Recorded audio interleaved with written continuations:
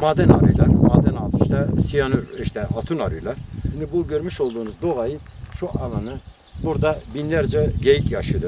Doğa hayvanlar yaşıyordu. E, otların kuruduğunu biz gördük. Ha, bu da önümüzdeki süreçte e, bunun ne kadar tehlikeli olduğunu, tehlikeyi yaratacağını hem doğaya hem tabiata e, vereceği zararları şu anda biz görüyoruz.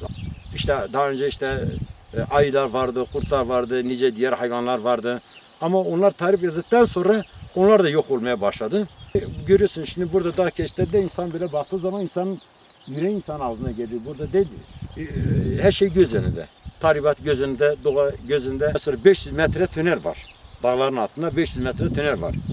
E, 500 metre düşün burada 20 tane tünel olsa onun hesabını sen yap. Yani dağı komple delik deşik etmişler. Komple yani e, kimyasını bozulmuş, e, dağın kimyası bozuldu, doğanın kimyası bozuldu, e, e, bitkisel e, işte görüyorsun her taraf bozulmuş şu anda harap halindedir. Burada çıkar nedir? Burada bir kişi kazanıyor. Bu dağ bir e, yaşantısız hale gelecektir. Bu 5 yıl sonra mı olur, 10 yıl sonra mı olur? Biz bunun etkilerini şimdiden görüyoruz ama sonra da biz bunun belirtilerini bugün gördüğümüz zaman önümüzdeki süreçte bunu daha etkili olacağını e, bunu göreceğiz e, doğamızın korunmasını istiyoruz. E, doğayla bütünleşmek, e, doğayla yaşamak e, istiyoruz.